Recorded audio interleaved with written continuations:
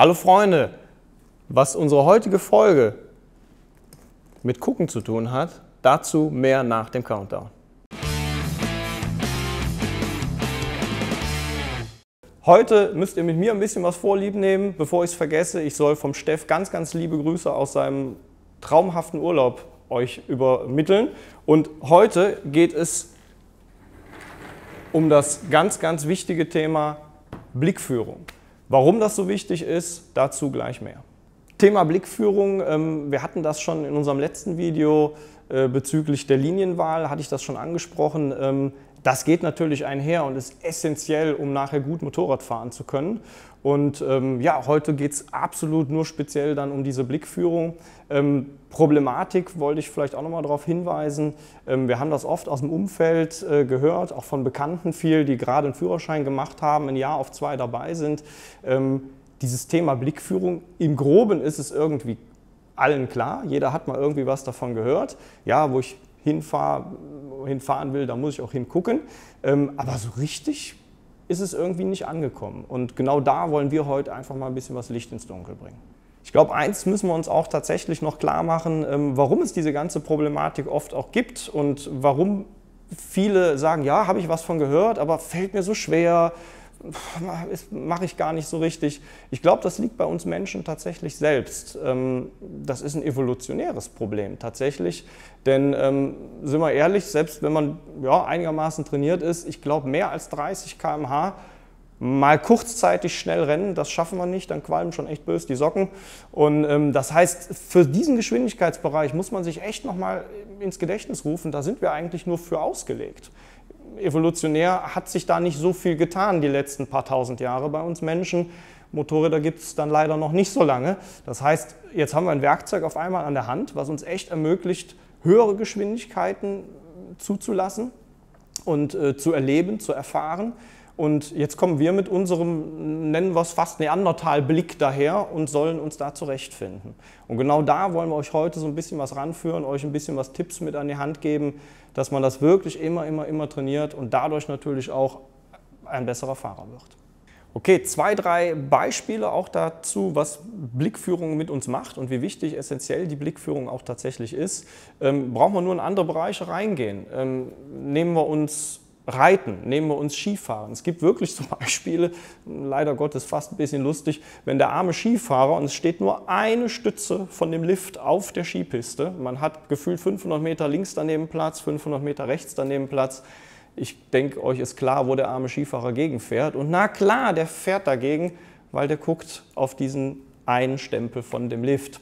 Und genau da sind wir bei der Thematik. Bei uns Motorradfahrern eben überlebenswichtig nachher, ähm, denn ich merke das auch immer wieder bei mir, wenn, wenn wir so ein paar Fahrstunden geben und vor allen Dingen die ersten Fahrstunden machen, ähm, da muss man direkt schon drauf pochen, dass eben der Blick oben bleibt. Denn der Mensch neigt dazu, und das ist, glaube ich, ein absoluter Klassiker, immer vors Rad zu gucken, irgendwie diesen Blick nach unten zu setzen. Man fährt ja auf der Straße und will dementsprechend die Straße aufsaugen.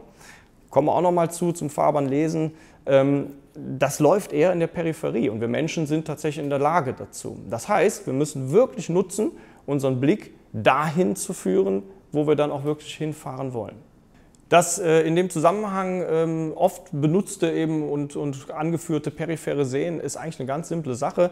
Ähm, nur noch mal ganz kurz für die Verständnis. Ähm, es ist ja nichts anderes als das Gesichtsfeld. Das, was wir abdecken mit unserem Auge, das sind circa 214 Grad, die ich eben wahrnehmen kann. Könnt ihr selber auch mal ganz einfach äh, probieren. Wenn ihr einen Punkt äh, mit dem Auge fixiert, bleibt dort, nehmt einfach beide Finger und bewege die jetzt dementsprechend auseinander und irgendwann, nämlich bei diesen circa 214 Grad, sind die dann weg und ich nehme sie nicht mehr wahr in meinem Gesichtsfeld.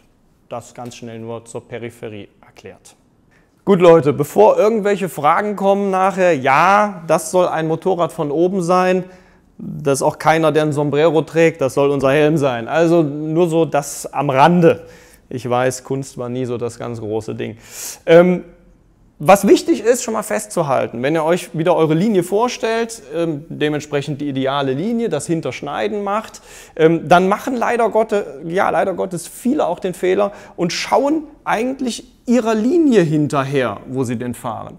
Und genau da müssen wir uns von lösen. Das ist eben dieser leider der Fehler, den die meisten dabei machen.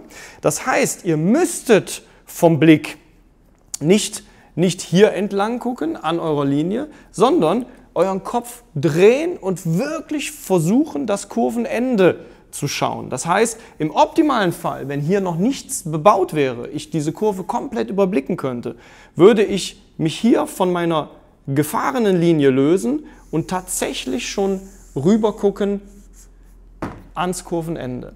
Ist das natürlich nicht möglich, weil hier irgendwie, was weiß ich, irgendwelche Bäume stehen, Bebauung, Fels oder sonst was am Start ist, dann gibt es von mir da den Tipp für euch, ähm, weiterhin versucht, so gut es geht, das Kurvenende zu fixieren. Das heißt, nehmt euch Fixpunkte und klickert immer wieder ans Kurvenende quasi ran und versucht immer wieder auch nachher ans Kurvenende zu gucken. Und somit kommt ihr eigentlich ganz gut durch. Ich gebe meinen Schülern oft den Tipp, ähm, schmeißt imaginär einen Lasso immer an diese Fixpunkte und zieht euch mit dem Auge quasi mit dem Blick hinterher.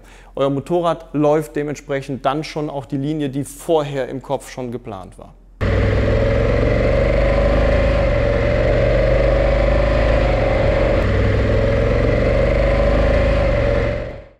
Eine Fehlerquelle muss ich euch auch noch unbedingt mit auf den Weg geben, denn selbst wenn ich diese korrekte Blickführung setze und mir jetzt endlich bewusst klar mache, okay, ich gehe ans Kurvenende immer mit dem Auge, sehe ich dennoch immer einen ganz wichtigen oder großen Fehler, leider Gottes, den viele machen.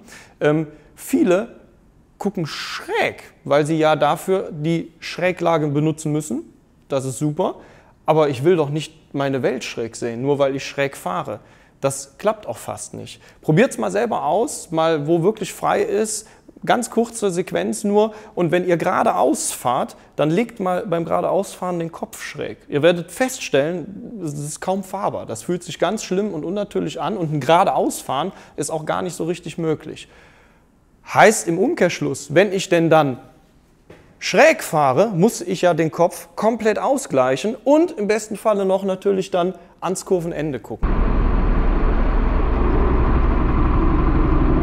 Trainiert das, trainiert das, trainiert das. Immer wieder den Kopf aus der Schräglage nehmen, gleicht und kippt quasi den Horizont aus. Ne? Wir wollen immer auf, auf Straßenebene gerade gucken, weil nur gerade kann ich auch meine Welt wahrnehmen, korrekt und alles auch sehen und fixieren. Was mir persönlich noch wichtig ist, mit euch auch auf den Weg noch zu geben, ähm, denn da nehme ich mich nicht raus, ähm, das muss man immer, immer, immer wieder trainieren, damit man nachher auch einen Benefit hat, damit das auch eine freudige Linie wird, eine sichere Linie nachher auch wird. Ähm, ich fahre jetzt fast schon auch seit einem sage und schreibe Viertel, Vierteljahrhundert ähm, Motorrad und ich ertappe mich immer wieder selber mal dabei, dass man in diese alten Muster des Force-Radgucken äh, doch nochmal ja, hineinfällt. Und ähm, wirklich mein Anliegen. Nehmt das mantraartig, haut euch das immer wieder in den Kopf und sagt, ich muss die Schultern fallen lassen, ich muss die Ellenbogen hängen lassen, locker sein, Kopf drehen, Kopf aus der Schräglage raus, Kurvenende suchen. Das muss immer wieder trainiert werden. Und ähm, gerade wenn ihr länger unterwegs seid, man neigt eben dann dazu, doch zu verkrampfen so ein bisschen mit der Zeit und vielleicht das auch wieder so beiseite zu schieben. Und dann kommt wieder unser evolutionärer der uns so ein bisschen von hinten wieder schnappt und auf einmal bin ich leider wieder in diesem falschen Gucken drin. Also trainieren, trainieren, trainieren und dann wird das was. Mein Fazit, Leute, Blickführung, ich kann es nochmal nur fettrot unterstreichen, das ist die Essenz des Motorradfahrens. Motorradfahren ist eine Auge-Hand-Koordination. Wenn ich das trainiere, wird Motorradfahren sicherer, spaßiger. Wir haben alle gewonnen. So Freunde, das soll es mit diesem Video schon wieder gewesen sein. Vorab, es kommen noch weitere zum Thema Fahrtechnik und wenn euch dieses Video bis hierhin schon mal gefallen hat, dann ja, lasst äh, wie immer gerne Likes da und äh, abonniert den Kanal. Ach und natürlich Kommentare. Ich verspreche euch, wenn der Steff wieder aus dem Urlaub ist, der wird da auch Antworten zu finden. Ansonsten, tschüss und adios.